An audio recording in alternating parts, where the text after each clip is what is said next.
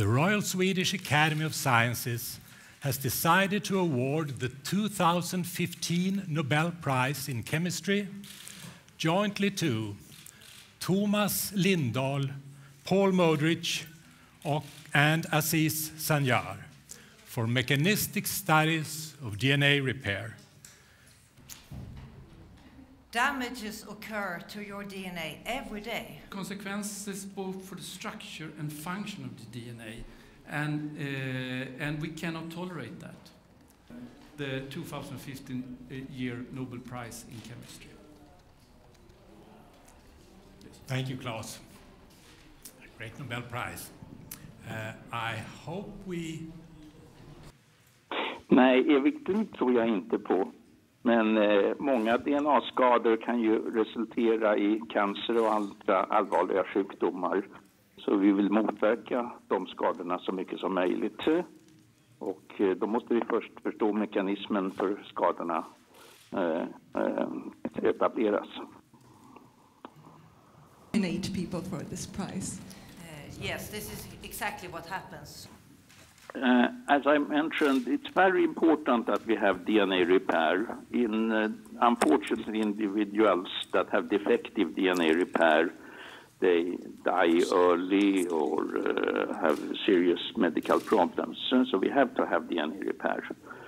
On the other hand, if we treat the cancer cell with an anti-cancer drug, that often acts by damaging the DNA of the cancer cell so we try to kill the cancer cell, and the cancer cell fights back by DNA repair.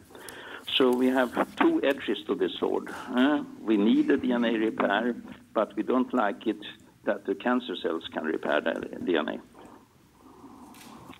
So we have to understand the mechanism so we can selectively um, provide good therapies that way. As Tomas Lindahl is a member of the Academy, could he have been here today voting as well? Or, I mean, how common is it that you give a prize to a member of the Academy? Congratulations again to your Nobel Prize and welcome back to your old hometown in December.